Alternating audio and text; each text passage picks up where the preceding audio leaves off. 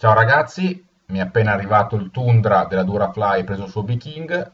Guardiamo cosa c'è nel kit di montaggio.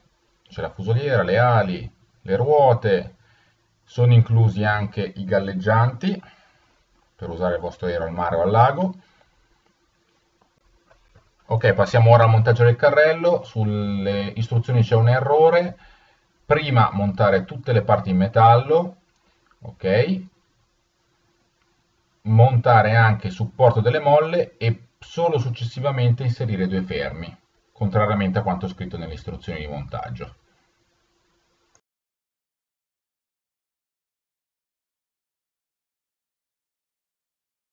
Non è indicato nelle istruzioni, ma consiglio di mettere un freno a filetti per bloccare quelle che sono le viti che vanno sulle ruote.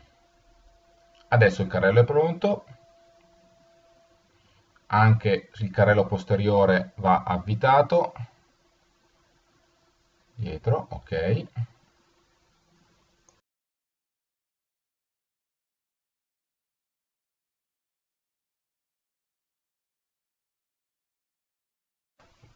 Ok inserire ad uno ad uno gli elevatori.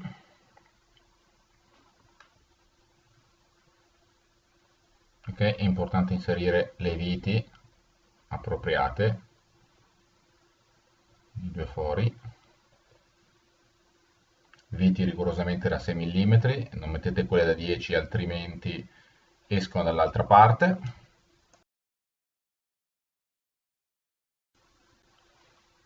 Ok passiamo ora a montare le ali. Allora c'è un, un'asta di rinforzo in fibra di carbonio che va inserita nella fusoliera.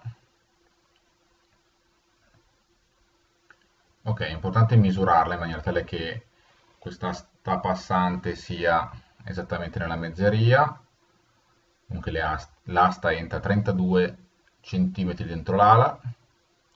Ok, è importante connettere bene le ali con i, in maniera appropriata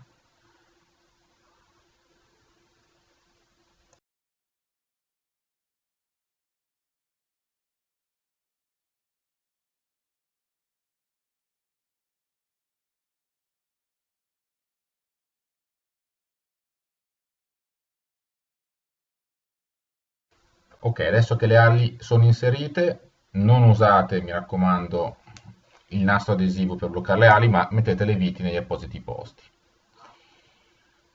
Allora i tiranti per bloccare le ali sono diversi uno dall'altro.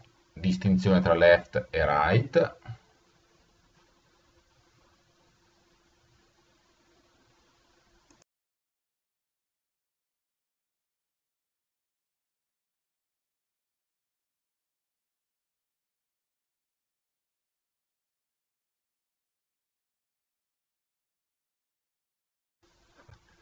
Ok, adesso dovete collegare i tiranti. Il mio consiglio è di collegare i tiranti e gli alettoni prima di montare le ali sulla fusoliera, per una questione di praticità, di montaggio.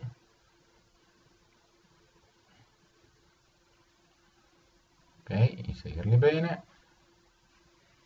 Inoltre dal profilo alare andate a misurare i millimetri e segnate quello che è il punto di gravità, il CG che vi servirà per bilanciare l'aereo.